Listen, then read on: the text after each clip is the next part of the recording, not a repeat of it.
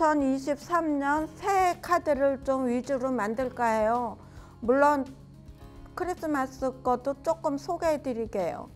오늘은 뭐가 위주냐면은 어, 선물 박스를 주로 했거든요. 저 끝에 있는 모자 모양도 선물 박스고요. 요런 것도 선물 박스 조그만 거. 여기 우리 한국 고유의 무늬로 만든 선물 박스. 이런 거를 좀 소개시켜 드릴까 했거든요. 근데 뭐 조금 늦은 감이 있어가지고 2023년 새해 카드로 만들 겁니다. 오늘 제가 만들려고 하는 것은요. 이렇게 아주 간단하면서 화려하고 23점 카드요. 요거 한번 만들어 보려고 그러거든요. 한번 뭐 만들기는 정말 쉬워요. 간단하고. 제가 한번 만들어 볼게요. 물론 색깔은 틀리지만 이거 A4 용지 칼라 페이퍼거든요. 이게. 그러니까 요거를 이용하시면 뭐든지 다 만들 수 있어요. 자, 일단 빨간 색깔을 한번 접어 볼게요.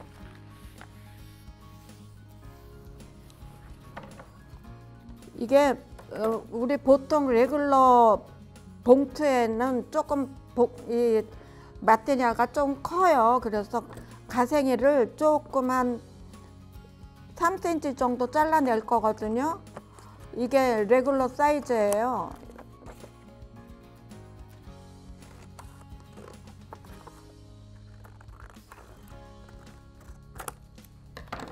네, 요만큼씩 잘라내면은 이게 보통 편지 아니 저 카드 봉투에 쏙 들어갈 수 있거든요. 자, 요렇게 반 접어줬죠. 그러면은 이렇게 모양을 모양을 내고 싶잖아요. 그러면은 이 겉에 빨간 거를 내가 원하는 만큼 뭐 크게든 작게든 이렇게 손으로 가위로 하지 마시고 손으로 이렇게 조금씩 뭐 하트를 하시든 그냥 일자로 하시든 이렇게 모양을 조금 내셔갖고 이렇게 오려내세요. 그러면 이런 모양이 되거든요. 그리고 여기다 밑에는 자기가 원하는 색깔, 환한 색깔이든 무슨 색깔이든 이렇게 넣어서 잘라주세요.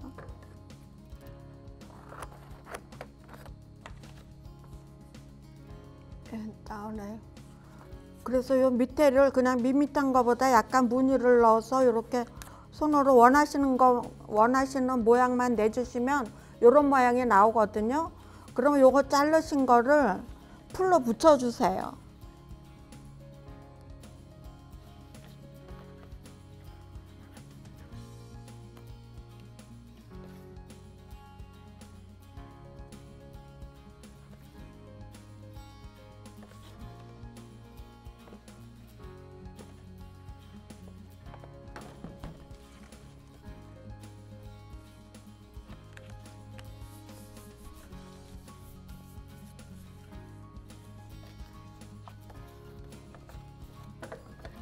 혹시나 이렇게 약간 좀 삐뚤게 나온 것 같으면요 이렇게 잘라 주셔도 아무 상관은 없어요. 모양이니까는.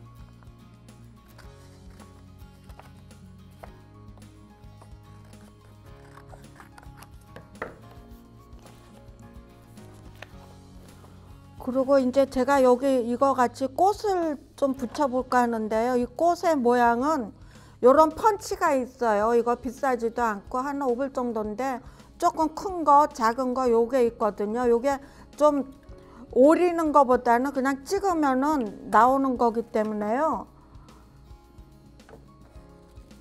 요런 모양이 나오거든요. 요런 꽃 모양이 큰 거, 작은 거 이렇게 해서 이거를 임의대로 여기다 붙이시면 돼요. 풀칠을 하셔갖고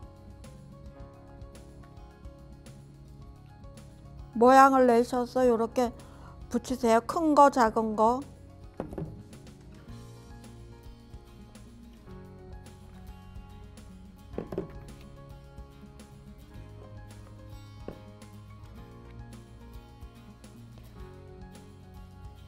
큰 거는 밑에 붙이시고 작은 거는 위에다가 덧붙이시면 모양이 나오거든요.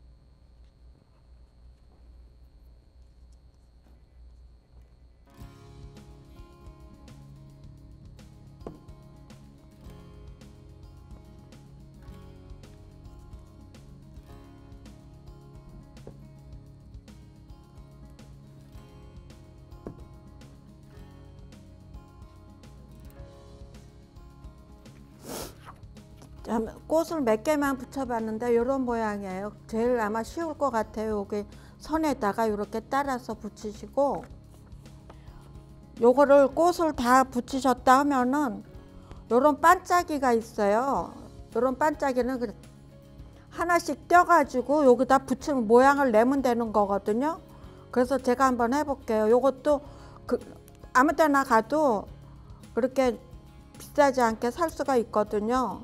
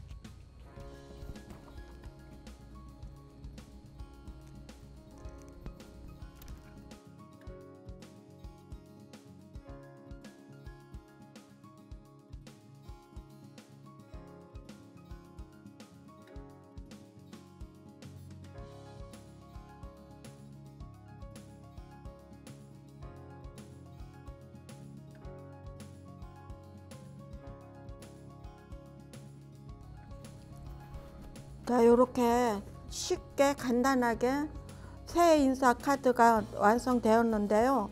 지금 제가 펜을 안 갖고 왔는데 여기다가 점을 몇 개 찍어 주시고 하얀 펜으로요. 점을 좀 찍어 주시고 이거와 같이 2023년 해피 뉴이어라고 써 주시면은 이게 어, 뉴이어 카드가 될 것 같아요. 여러분도 갑, 간단하니까 집에서 한번 쉽게 해보실 수 있으면 참 좋겠습니다. 요 가생이는요, 그냥 이렇게 멋으로 붙여봤거든요.